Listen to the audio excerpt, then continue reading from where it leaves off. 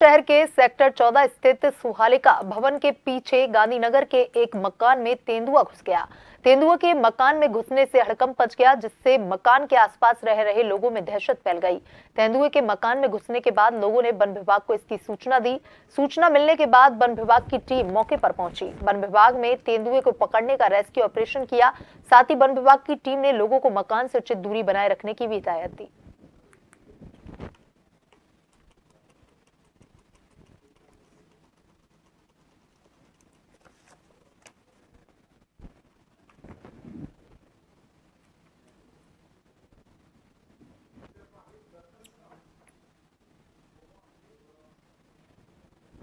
उदयपुर शहर के सेक्टर 14 स्थित सुहालिका भवन के पीछे गांधीनगर के एक मकान में तेंदुआ घुस गया।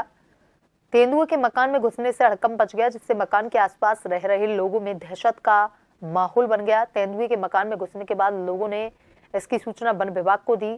सूचना मिलने पर वन विभाग की टीम मौके पर पहुँची। वन विभाग ने तेंदुए को पकड़ने का रेस्क्यू ऑपरेशन किया और साथ ही वन विभाग की टीम ने लोगों को मकान में उचित दूरी बनाए रखने की हिदायत दी।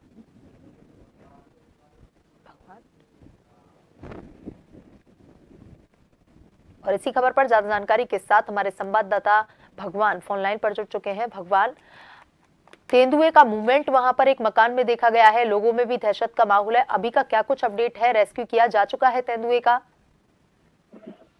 रेस्क्यू की बात करें तो अब रेस्क्यू हो चुका है। कुछ समय पहले ही तेंदुए का रेस्क्यू किया गया लेकिन जिस तरह से दिन दहाड़े, एक पेंसर जब मकान में घुसा तो आसपास के लोगों में एक दहशत का माहौल फैल गया।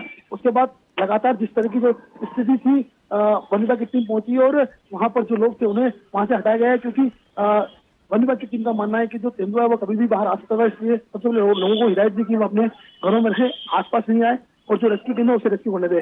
करीब डेढ़ से दो घंटे के बाद रेस्क्यू किया गया और उसके बाद अब उसे फिर जंगल में छोड़ा गया है। जी। जी, भगवान, तमाम जानकारी के लिए धन्यवाद।